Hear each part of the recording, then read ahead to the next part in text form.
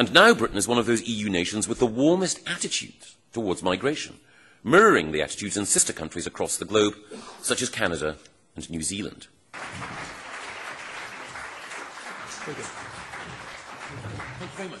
The referendum campaign has led to Britain becoming more welcoming towards migration and more open to new people arriving here.